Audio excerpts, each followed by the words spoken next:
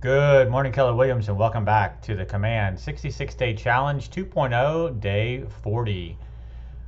Today, we've got some new changes within the Contacts submenu, and I wanted to show you that today with regards to searching for people in your database.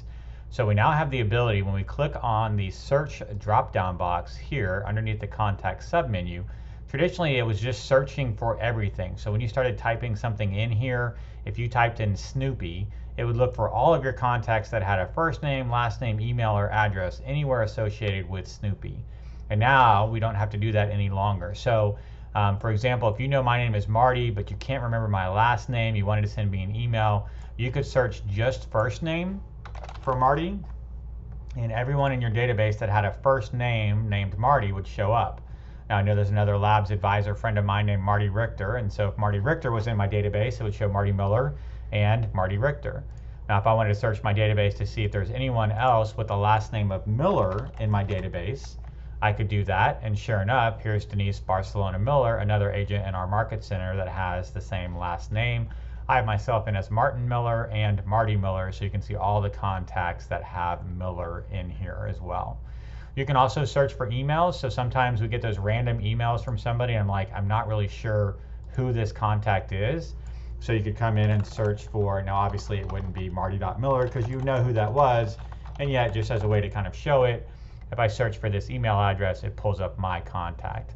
So if you got an email from snoopy123 at AOL.com, you could look that up and realize, oh, that's actually connected to Marty Miller or whatever. That's not my email address, just so you know.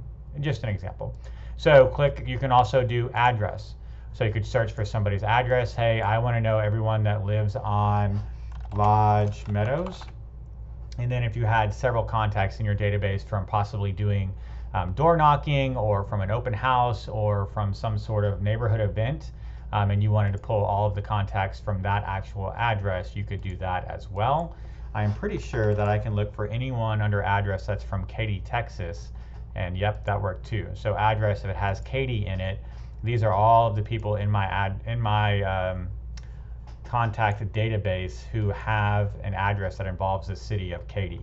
So you can see that as well if I just wanted to see how many people do I know that actually live in Katy. I could do the same address. Let's do Houston.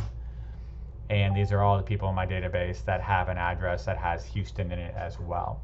So some improved search functions within the contact submenu of KW Command, the ability to search by first name, last name, email, or address.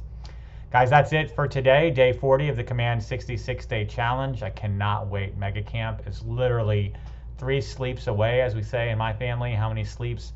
Three more sleeps, and it's going to be an amazing week. So excited about everything that the Labs team and KWRI and KW in general are going to be doing for us over the next week. So uh, if you're headed up there, I hope to meet you. And if not, I will look forward to speaking with you in the morning. Take care, guys. Bye bye.